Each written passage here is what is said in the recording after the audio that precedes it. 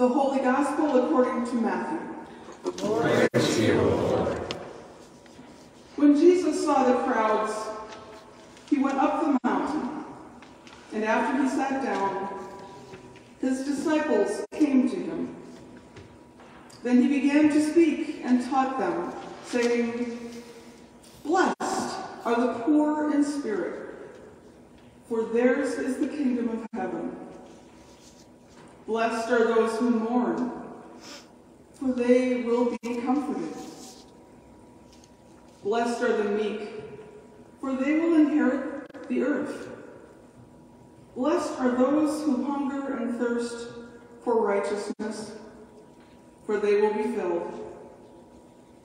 Blessed are the merciful, for they will receive mercy. Blessed are the pure in heart, for they will see God. Blessed are the peacemakers, for they will be called children of God. Blessed are those who are persecuted for righteousness' sake, for theirs is the kingdom of heaven. Blessed are you when people revile you and persecute you and utter all kinds of evil against you falsely on my account. Rejoice and be glad, for your reward is great in heaven. For in the same way they persecuted the prophets who were before you. The Gospel of the Lord. Praise to you, O Christ. Please be seated.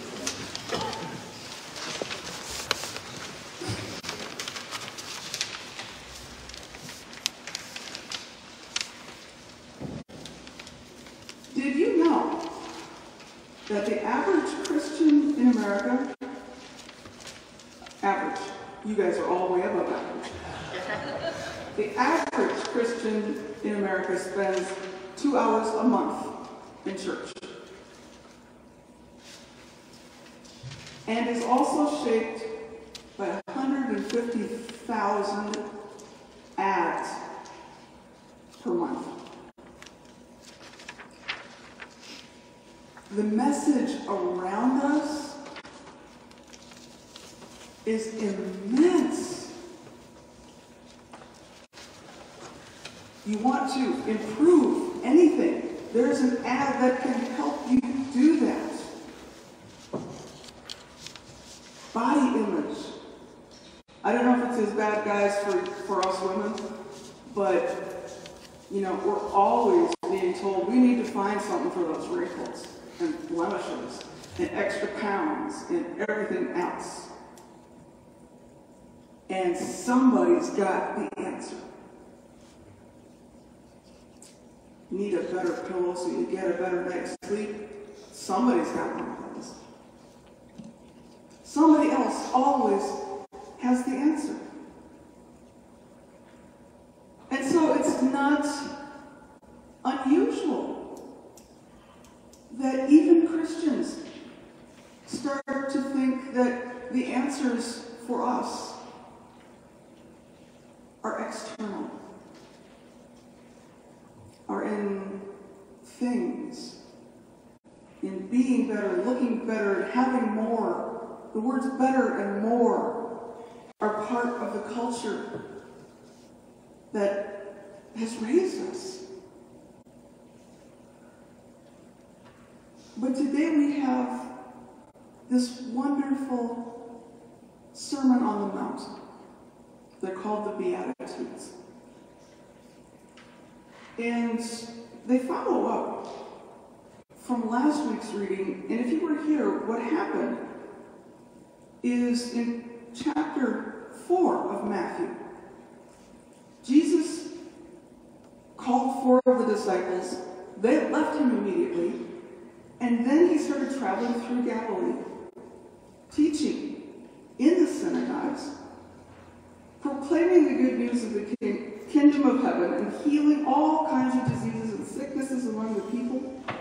And his fame spread throughout Syria. And people suffering from illnesses and painful ailments of all kinds, those who were demon possessed, those who were epileptic, those who were paralyzed were brought to Jesus and he healed them. And large crowds followed Jesus, coming from Galilee, the Decapolis, Jerusalem, Judea, and Transjordania.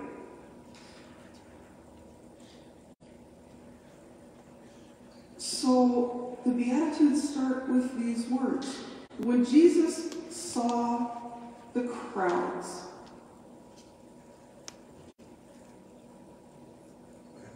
this is who he proclaimed the Beatitudes to. His primary teachings in the book of Matthew, the crowds, Jewish and Gentiles, many of them in need of healing, many of them who had just been healed by Jesus. He wasn't teaching a Sunday school class.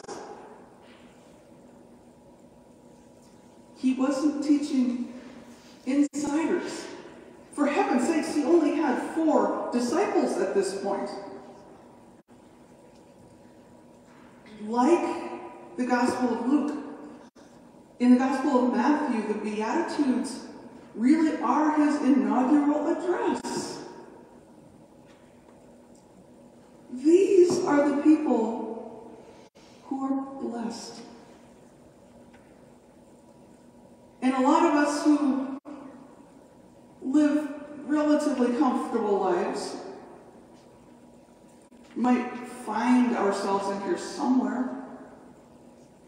Certainly, we've all some more than others. But it's not getting a shoehorn and fitting into the Beatitudes somehow.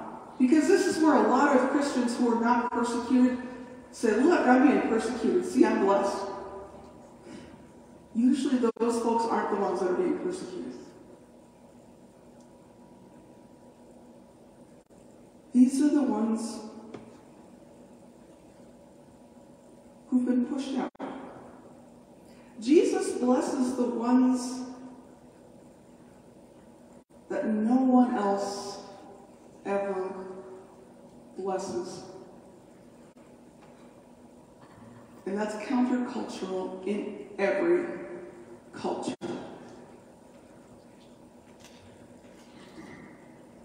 But because of those 150,000 ads per month, now that's average. Some are above, some are below. Some choose public television and radio. Most people think that the people who are very blessed are the people that we think Jesus is with. I'm so blessed. I don't care who wins the Super Bowl, somebody's going to point to God and say, Thank you, God. Saw a cartoon a while back. It's, you know, kind of showed Jesus on a couch in heaven. And uh, while the athlete is pointing to God, Jesus is watching hockey.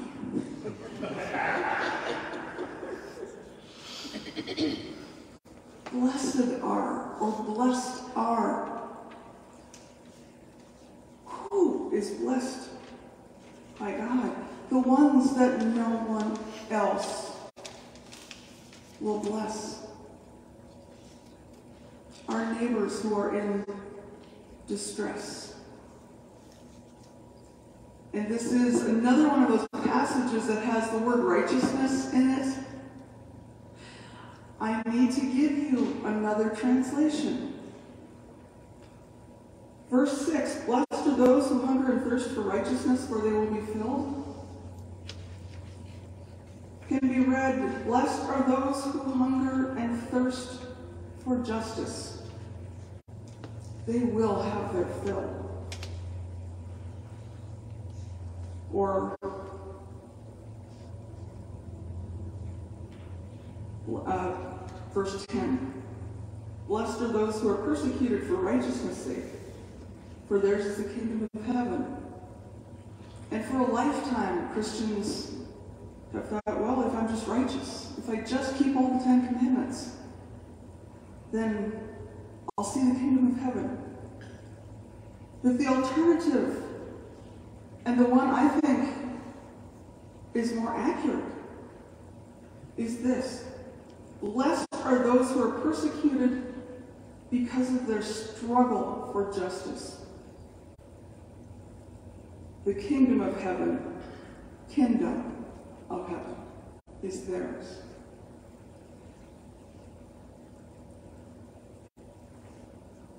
It makes a difference.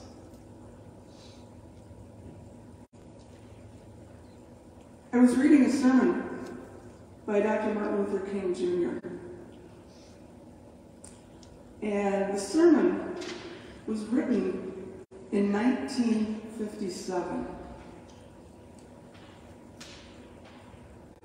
And it's about loving your enemies, which is a section right after this in the Beatitudes. Hate only intensifies the existence of evil and hate in the universe. If I hit you and you hit me back, and I hit you back and you hit me back and go on, you see, that goes on in ad infinitum. It just never ends. Somewhere, somebody must have a little sense. And that's the strong person. The strong person is the person who can cut off the chain of hate, the chain of evil. And that is the tragedy of hate, that it doesn't cut it off.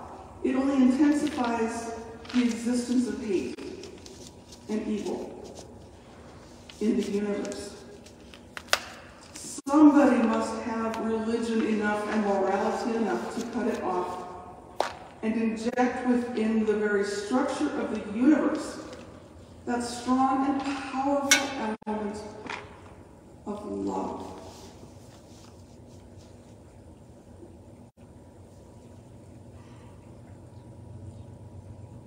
Do you know there was a bill recommended, voted on, but did not pass, thank God, in Iowa this week that would have limited food stamp recipients from receiving fresh meat with their food stamps. The bill, among other things, said they could only get canned meat with their food stamps. And a lot of people voted for it.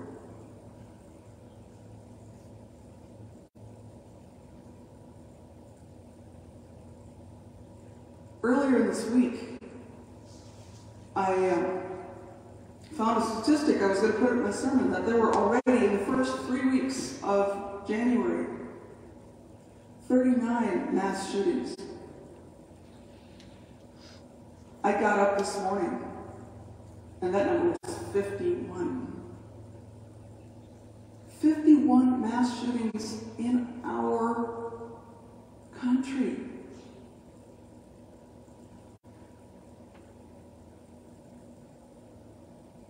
We have to stand up against hate. Because that's what Jesus did. You've heard it said an eye for an eye. And the whole world goes blind. Hate distorts the personality of the hater.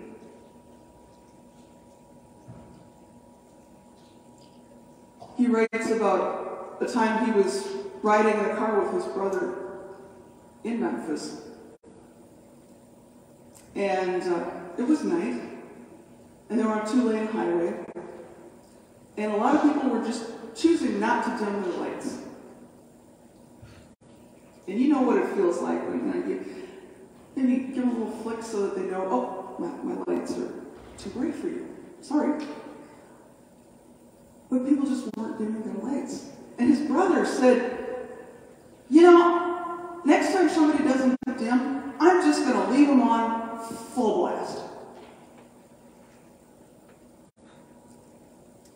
And King said, you can't do that.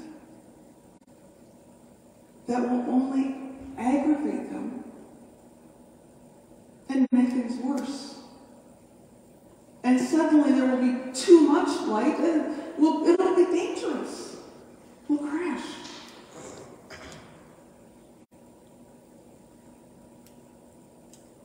A small thing, but to not engage in payback, especially when it's so tempting and so easy. That's a step toward loving your neighbor. And love has within it redemptive power. We have to trust that because we know Jesus. Love has redemptive power.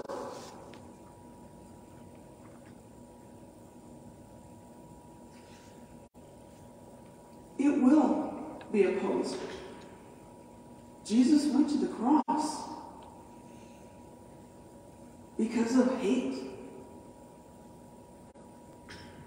But his message of redemptive love lives on today because it's so profound. Mahatma Gandhi discovered that. You can stand against injustice without hating the unjust. You can still love them.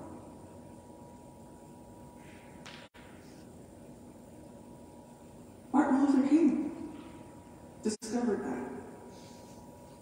Dietrich Bonhoeffer discovered that. It's not weak to stand for justice and love neighbor. It may be one of the strongest things a Christian can do.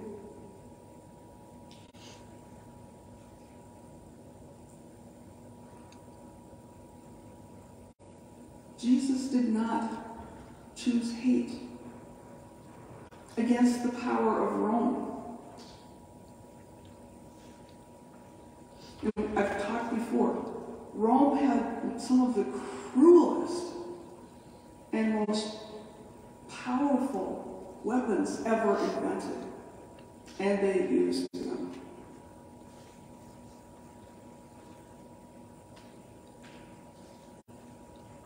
Jesus came and said, I will not use this method.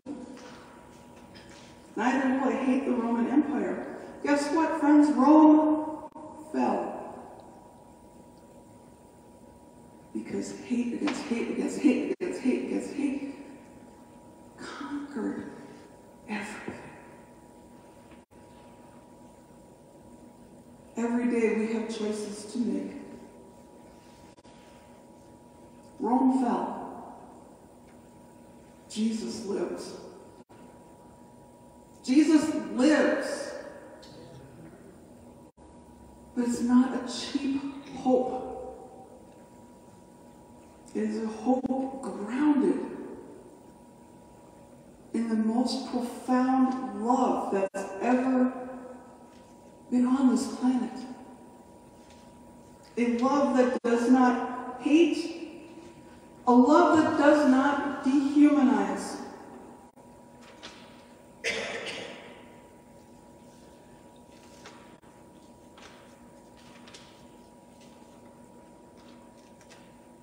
King had told that story at Howard University. And uh, he added to the story about his brother in the car. Oh, my friends, it may be that Western civilization will end up destroyed on the highway of history because we failed to dim our lights. And we have the greatest light of love right there. Now is the time to let the light of Jesus shine. Shine brightly. shine to tell the world that the ones who are blessed are the ones the world doesn't care about, but that Jesus sees them. Jesus sees you, calls you beloved, calls you blessed. Live in that peace, the peace that all understanding.